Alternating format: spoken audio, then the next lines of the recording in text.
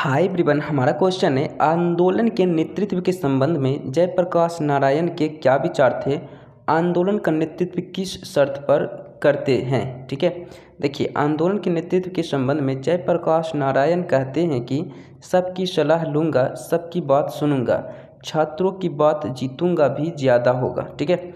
Okay, छात्रों की बात जितना भी ज़्यादा होगा, जितना भी समय मेरे पास होगा, उनसे बहस करूँगा समझूँगा और और समझूँगा और अधिक से अधिक बात करूँगा।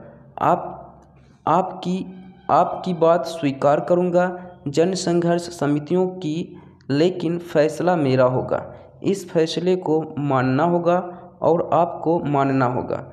जयप्रकाश, आंदोलन का नेतृत्व अपने फैसले पर मानते हैं और कहते हैं कि कि, कहते हैं कि तब तो इन, इस नेतृत्व का कोई मतलब मतलब मतलब है, कोई मतलब है, तब यह क्रांति सफल हो हो सके, ठीक है, सफल हो सकती है।